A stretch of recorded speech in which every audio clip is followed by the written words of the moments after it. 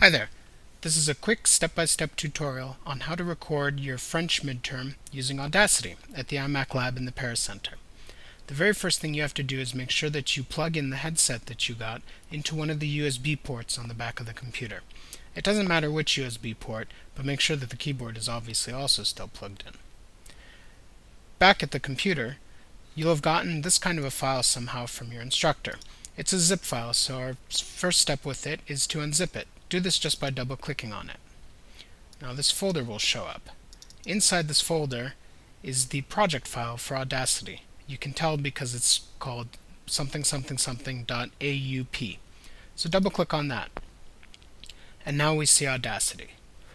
The first step in Audacity is to make sure that our speakers and microphone are set to Logitech USB headset. This way it'll play through the headphones and record the little microphone next to the headphones. If we have it set to anything else, then it might not record correctly. Now the second step is to listen through the entire exam one time to see what's going on.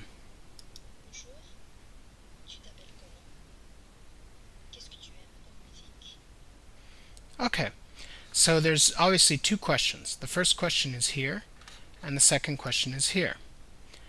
There are these light gray gaps in between these two audio files that we'll get back to in a little bit.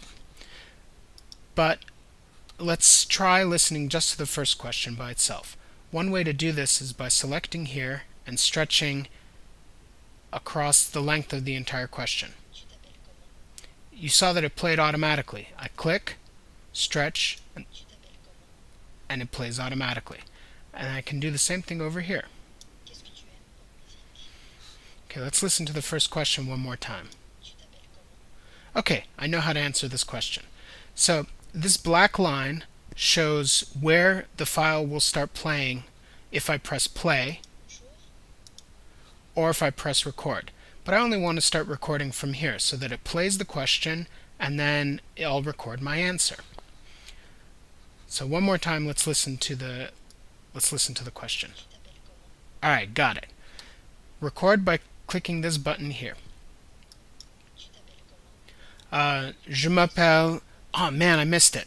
Okay, obviously there's not enough time here in this little gap for me to record my entire answer. So, the, so we'll have to move this question for a little bit later. Do that by changing your tool. You have the selection tool here, but then switch to the time shift tool, like that. Now I can move this audio chunk all the way over here if I want to. And I have all of this space within which to record my answer. So let's go here and delete everything that I already recorded by clicking, by double clicking on it and then doing cut. Now, if I start everything again and press record, let's see what happens. Oh wait, where did the question disappear to? Okay, let's stop all that. It added a third track. So now I have the original question here, this blank track, and this third track here. This is way too much. So by clicking in these little X's, I get rid of all the tracks. So I'm back to the beginning with this gap here. Now let's record for real. Je m'appelle Romain Gary. Okay, I stopped recording by pressing the stop button, as I showed there. But it, it caught my little OK that I said there at the end when I was ready to stop recording. That's alright. As you can tell, all this silence and stuff here, we don't need any of that. So I can just select it and drag like that, go to the Edit menu, and do Split Delete. And now it's gone, and it's replaced by this empty light gray space. And I can do that over here too. Edit, split delete. Now check this out. If I switch back to the time shift tool, I can even move what I already recorded over here and it'll be a nice little seamless transition. If I click here to make the black line here and press play. Awesome. And now, in fact, there's too much time in between the question, the response, and the next question. So let's move this back over here and press play again.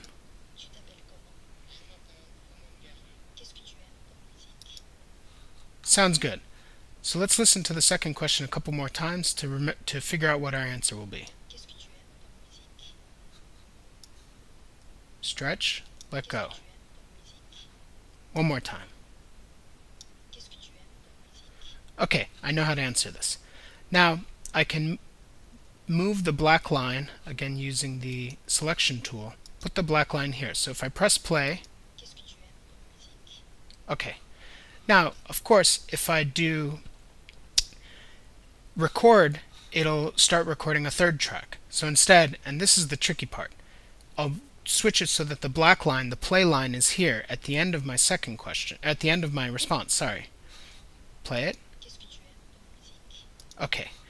Now instead of clicking record by itself, see how it says shift for append record? I'm going to I'm going to do a shift when I I'm going to hold down shift when I press record so that it appends it. So let's play it one more time.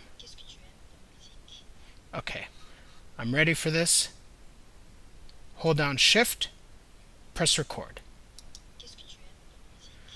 J'aime le rap et le jazz. Stop.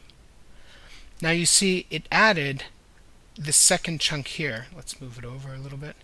It added the second chunk here with this black line in between the two. So if I switch the black line over here, it's a seamless audio file, which or seamless audio uh, performance. So let's select all this silence because we don't need it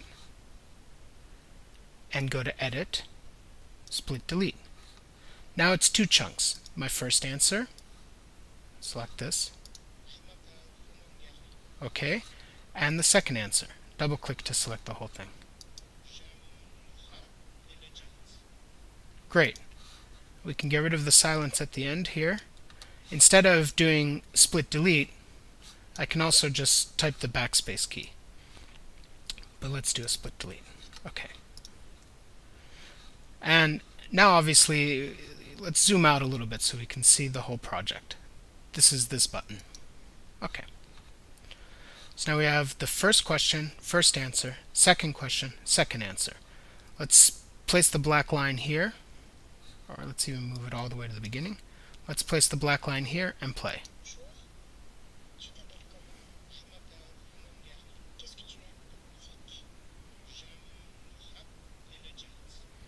Okay, sounds exactly right, except this is a little bit late.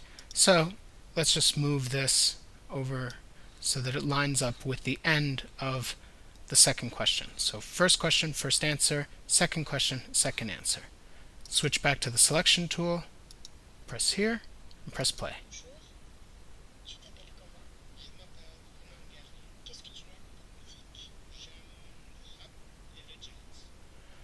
Sounds perfect. Ready to submit to my instructor.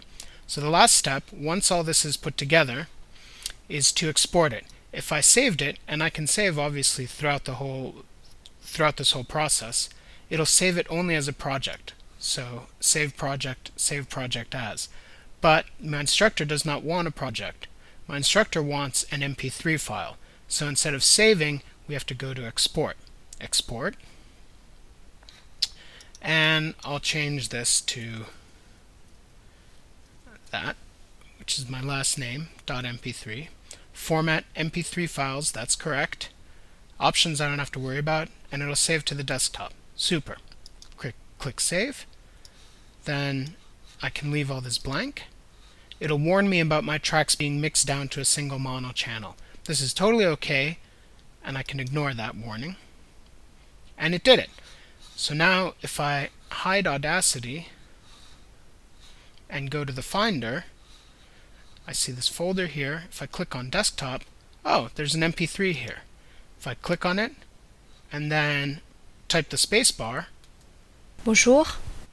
Tu t'appelles comment je m'appelle Romain Gary. Qu'est-ce que tu aimes comme musique J'aime le rap et le jazz. I can hear that the entire file got through.